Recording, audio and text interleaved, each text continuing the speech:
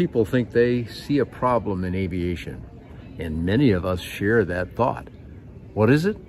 There's not enough young people coming into aviation, some say.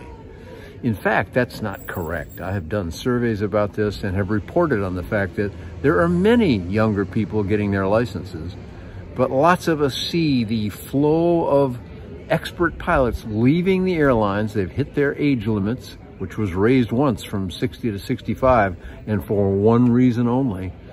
So are there indeed going to be enough young airline pilots coming along? And closer to recreational aviation, are there new enthusiasts coming along that enjoy the kind of flying that we all enjoy? Well, yes, there is, and we're going to meet one of them here today. And I think you're really going to enjoy meeting this young person right here at Sun Fun. We're uh, about halfway through the week now, and it's been a wonderful opportunity to be back at air shows. Yes. I'm Dan Johnson, and I'm speaking with Jatniel here, who is he's a fellow that you need to know a little bit more of because, well, for several reasons. But let me start. You have been a big help to us here in the LSA Mall. That's where we're standing by this uh, handsome FX1. And you have been a great help to us since you were a pretty young lad, and now you're ready to graduate from high school and go on to college. And I'm just so excited that for your future there for you, Jatniel. And so let's do this. Tell me a little bit about how it was to go to an aviation high school, well, right here on the field. Well, going into an aviation high school is interesting because you have other people that share your passion with you, uh-huh. especially flying flying different kinds of aircraft. So you get to share your experience with other people. And they're interested. And their interest too. Excellent. uh, how about the professors, the, the instructors? How were they? They were really encouraging. They they helped me a lot to decide what I would like to do, especially in the aviation field.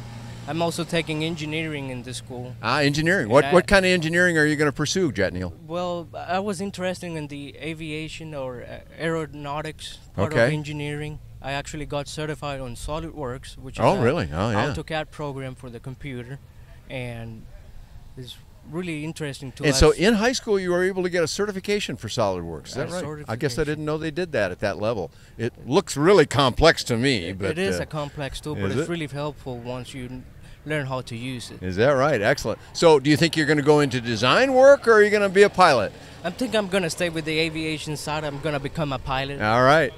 Now, you're already a pilot. You're not going to become one. You're flying now. Tell us a little bit about what you fly, Jat. Well, uh, right now I'm flying a Flightstar 2SC and a Challenger 2. All right. Great aircraft. Uh, people who watch these videos or know those aircraft right away, and they're going to go, "Oh, cool! He flies one of those." Where do you fly that, Jat? I fly it out of South Lakeland Airport, X49, right here, about three miles from the field. Can almost throw a stone there. Well, yeah. I can't, but maybe somebody could. and that's where you fly your Challenger and your uh, Flightstar 2SC. Both, both of the, both aircraft are home base at that airport. So. Excellent.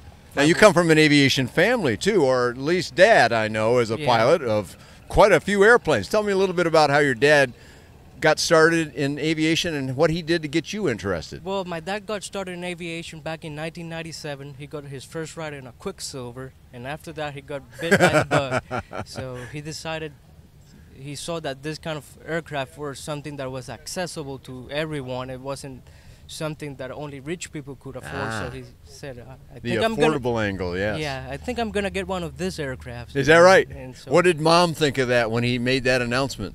well, I, am not sure about that part, but I wasn't around by then. But yeah.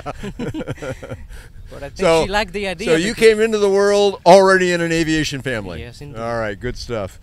Now, where are you going to go after you get out of uh, CFAA, which is, I believe it's this year you graduate? This year. I'm All right, so that's really cool. But where, where are you going next, Chad? I'm thinking oh, uh, I'm going into the Polk, uh, Polk school system, uh, Polk State College. Okay. Which they offer a really nice aviation program they right do. here in this airfield. So. Oh, they have the facility right here, don't right they? Here, across the street, pretty much. All right, so so you're just kind of kind of go down this road right here, not really, but almost down this road almost, to your yeah. next school. Pretty much. And all of that's that stone's throw distance away from home base. Pretty much. Pretty darn cool, I would say. So, well, I can tell by your big broad smile that you're looking forward to this. Yes, Where do you think it's going to lead? High school is done, college gets done. What's next after that in your plan? Hopefully, I, I'll become an ATP or a commercial pilot. Okay. get my license, but I really want to keep flying this kind of aircraft because it's something that I really enjoy, and it It, it, it has a special place in my heart flying this kind of aircraft. So you might uh, be willing to fly an airliner around, but this is where your heart stays. Yeah. All right. Very good, Jet. Thanks so much for talking to us here. and You're I'm welcome. sure everybody will join me in wishing you all the success in the world as you go forward. I think you're going right into things at the right time. And if you want to fly airlines, I'm guessing there'll be plenty of room for a bright young guy. Thank you, Dan. Jet, thanks for joining us here at Sun 'n Fun 2021 in the LSA Mall.